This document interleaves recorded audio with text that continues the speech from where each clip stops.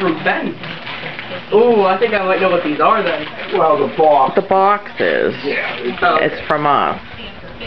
Well, I think I might know what what it is then. Still noticeable, relatively nice for us even as we head into the early afternoon.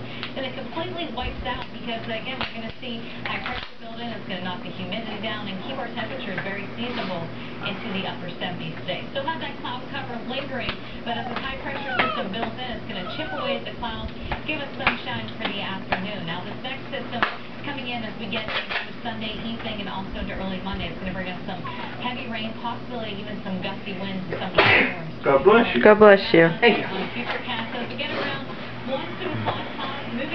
See which ones you Clear get. skies.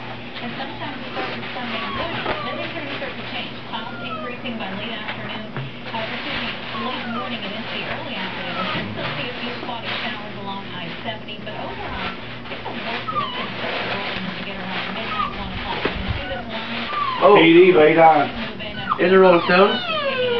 that's going to progress through Awesome. the overnight hours. Now, by the time you head out on Monday morning, still can see a few Rolling Stones. around 6, 7 o'clock. Otherwise, Vinyl for your new pl- rain really picking new record player. Around this time, we'll be dealing with large Okay, go ahead. showers. So that's what we're about to rain You're you're good. Oh, oh, I didn't flash. No, I'm just videoing because ah, ah. I haven't videoed you opening presents for a long time. Oh, okay. Overnight tonight, down near I got you. 59. Most areas, We can get pictures of you holding them up later.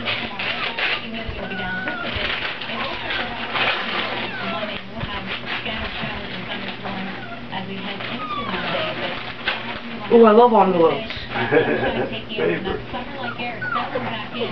We're those temperatures back into the mid-80s for the rest of the week. And then as we start the next Friday and Saturday, we'll be in practice with thunderstorms. So enjoy this weekend while you can, especially with so much going on around the city. I, you know, No. Happy birthday, bud. Happy birthday, Budge.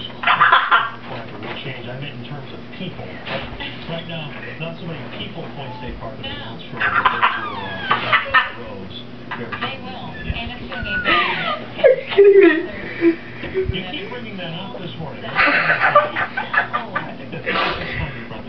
Awesome. You like Taylor Swift? I like Taylor Swift. I'll bring it in a minute. I'll bring it in a minute. She's a small number Me, you, and Dad. from there. So, Mom, Mom talked me into it. Thank you so much. You're welcome. Pretty good seats, I think, too. Once you get on the computer and see where they're at. Surprise. Thank you. You're welcome.